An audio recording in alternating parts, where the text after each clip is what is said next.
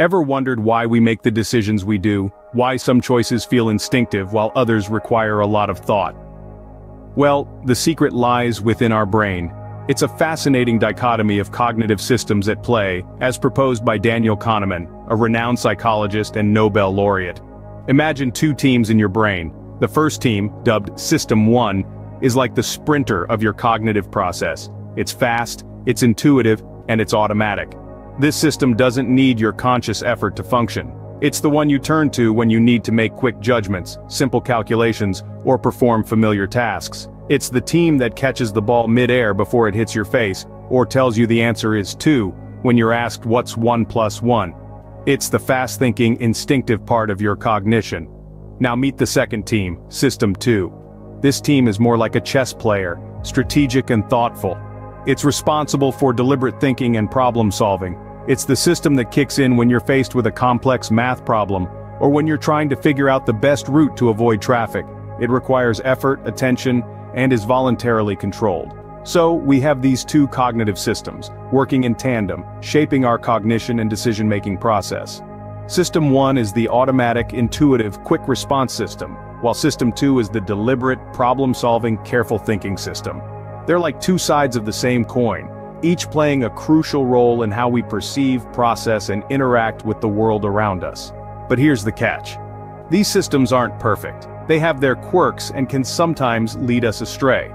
But by recognizing and understanding these systems, we can make better informed decisions and navigate the complexities of life more efficiently. In essence, these two systems shape our cognition and decision-making process. So the next time you make a decision, ask yourself, is this system 1 or system 2 at work? Understanding the interplay between these systems can open up a whole new world of understanding about how we think, how we act, and ultimately, how we live. But our cognitive systems aren't foolproof. They can be biased and prone to errors. Let's delve a little deeper into this fascinating world of cognitive biases and errors.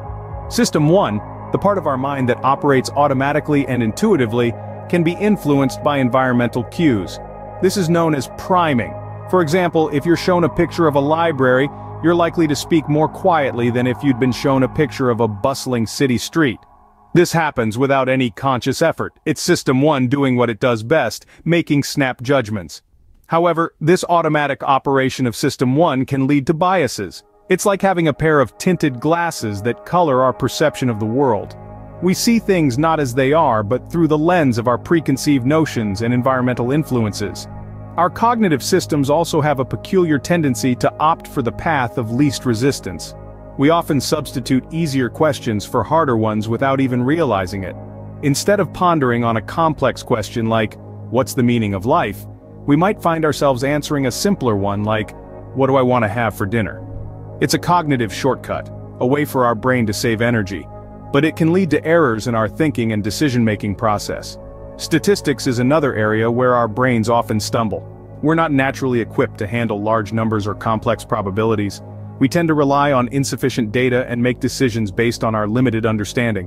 We might, for instance, judge the risk of a rare event like a plane crash based on a single news report, rather than considering the actual statistical likelihood. So, you see, while our cognitive systems are remarkable, they are also fraught with biases and errors. They can lead us astray, color our judgments, and cause us to make poor decisions. But there's a silver lining here. By recognizing these biases and understanding where we can go wrong, we can start to correct our course. Understanding these biases and errors is the first step to making better decisions. Let's delve deeper into one such bias, the anchoring effect. Picture this, you're shopping for a new car and the salesman presents you with a price. That initial price, whether it's high or low, becomes your anchor, your starting point.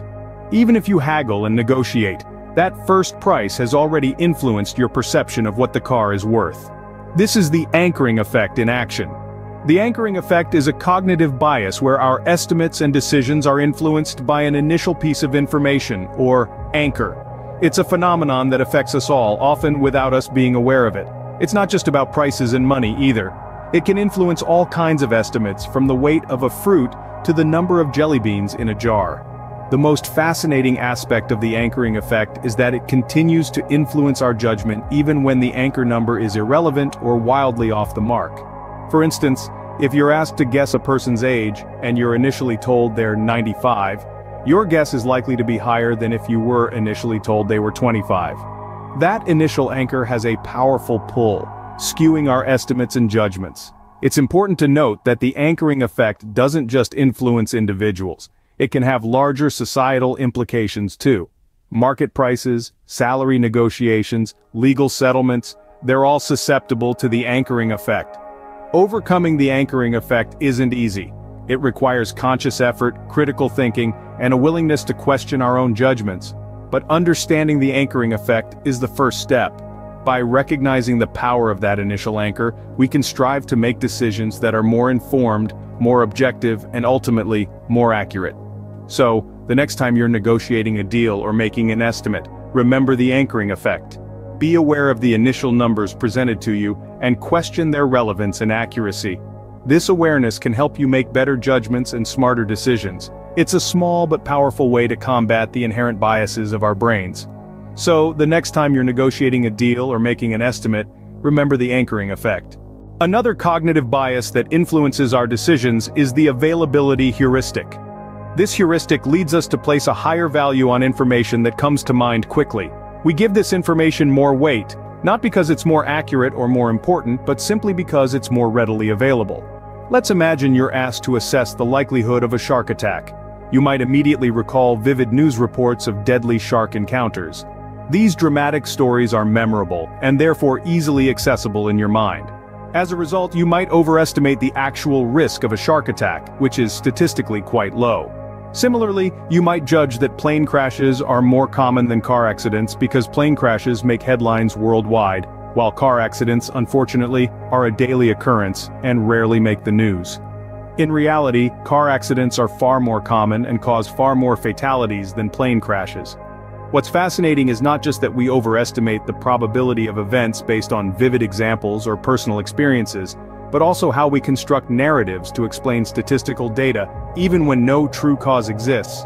We have an innate desire to make sense of the world around us, to find patterns and causality. So, when we hear that more people are buying organic food, and that rates of certain diseases are dropping, we might quickly conclude that organic food is the reason for the health improvement, even though there may be no scientific evidence to support this claim. This tendency to create stories is a testament to our creativity and our need for order. But it can also lead us astray. When we build narratives based on limited data or personal experiences, we risk overlooking other important factors or misinterpreting the data altogether.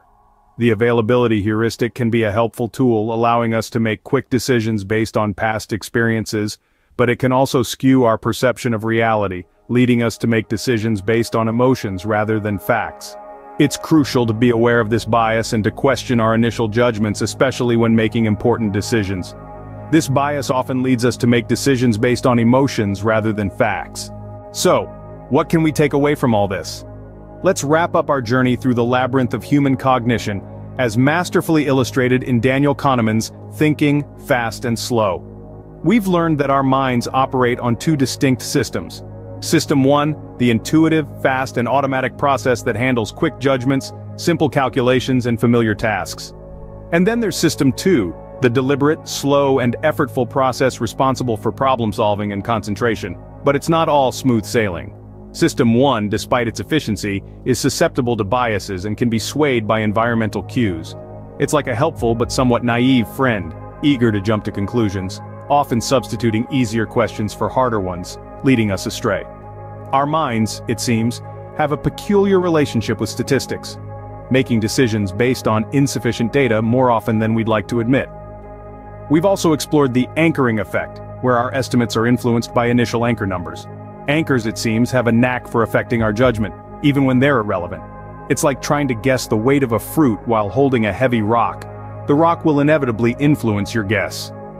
Don't forget the availability heuristic, we tend to overestimate the probability of events based on vivid examples or personal experiences. We're natural storytellers, constructing narratives to explain statistical data, even when no true cause exists. But it's not all doom and gloom.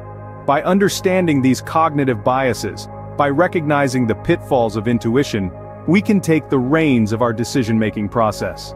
We can learn to pause, to engage our System 2, to question the quick judgments of System 1.